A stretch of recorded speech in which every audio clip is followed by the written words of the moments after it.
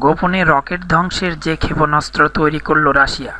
বিশ্বজুড়ে আধিপত্য প্রতিষ্ঠা ও ক্ষমতার লড়াইয়ে মত্ত পরাশক্তিগুলো। আর এই লক্ষ্য একের পর এক বিধ্বংসী অস্ত্রের আবিষ্কার করে চলেছে তারা। কখনো তা প্রকাশ্যে ঘোষণা দিয়ে, কখনো বা গোপনে। এবার গোপনে রকেট ধ্বংসের ক্ষেপণাস্ত্র তৈরি করল বর্তমান বিশ্বের অন্যতম পরাশক্তি রাশিয়া। রুশ কৌশলগত ক্ষেপণাস্ত্র বাহিনীর commander lieutenant general Sergey Karakayev জানিয়েছেন, রাশিয়া দুই বছরে কম সময়ের মধ্যে ক্ষেপণাস্ত্র পরীক্ষায় ব্যবহৃত রকেট ধ্বংসে সক্ষম ক্ষেপণাস্ত্র মোতায়েন করা হবে।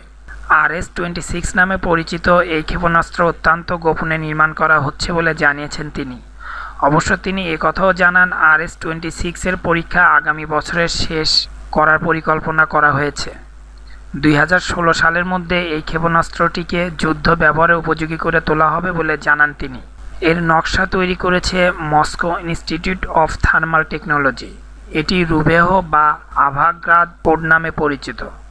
রাশিয়ার আর আইএ নভস্তি সংবাদ মাধ্যমের খবর অনুযায়ী ভ্রাম্যমাণ মঞ্চ থেকে উৎক্ষেপণযোগ্য আর এস টোয়েন্টি সিক্স ক্ষেপণাস্ত্রের নিরেট জ্বালানি ব্যবহার করা হয়েছে। এখনও পর্যন্ত চার দুবাই আর এস টোয়েন্টি সিক্সের পরীক্ষামূলক উৎক্ষেপণ হয়েছে।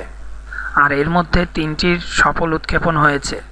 কারকেইভ আরও জানিয়েছে, দুই হাজার বিশ সালের মধ্যে আরও উচ্চ ক্ষমতা সম্পন্ন সারমাত মিসাইল তৈরি হয়ে যাবে। এই ক্ষেপণাস্ত্রটি মোট একশো টন ওজন বহন করার ক্ষমতা রাখে। পাঁচ হাজার পাঁচশো কিলোমিটার দূরের বস্তুকে আঘাত হানতে সক্ষম এই সারমাত মিসাইল।